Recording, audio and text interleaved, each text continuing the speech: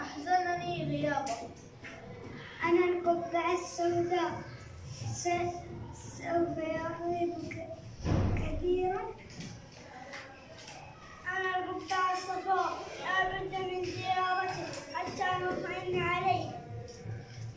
أنا القبعة الخضراء هناك آداب للزيارة. منها أن نخبر محمد برغبتنا في زيارته الزيارة.